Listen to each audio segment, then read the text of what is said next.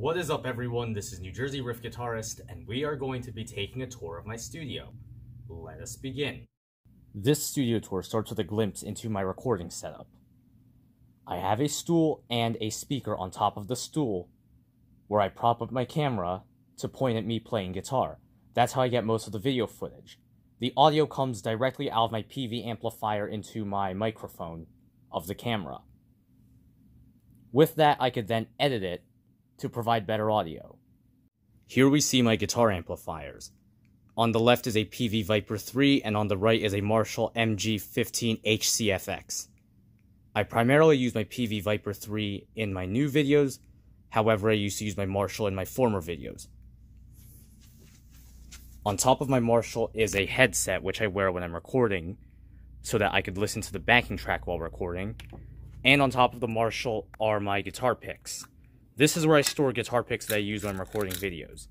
My picks of choice are Hetfield White Fang, 1.14 millimeters. So, here is my amp of choice, a Peavey Vypyr 3. I love this amp because of how versatile it is, as well as how many different tones you could model without even relying on a single pedal. This is currently set to the clean guitar tone because I've recently recorded some clean guitar tracks.